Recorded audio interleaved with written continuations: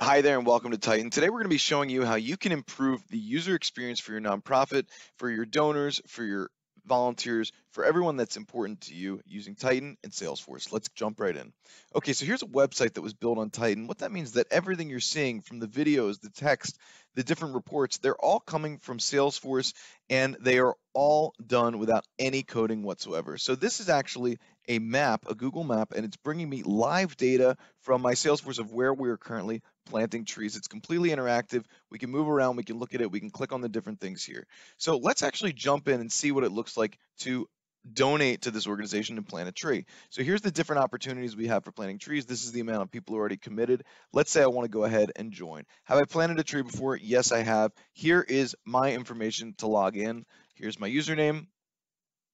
Here's the two-factor authentication code I got in my email.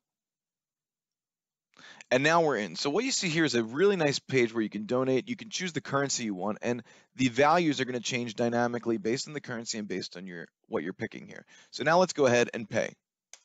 I've just put in all of my credit card information. Now I'm going to go ahead and pay.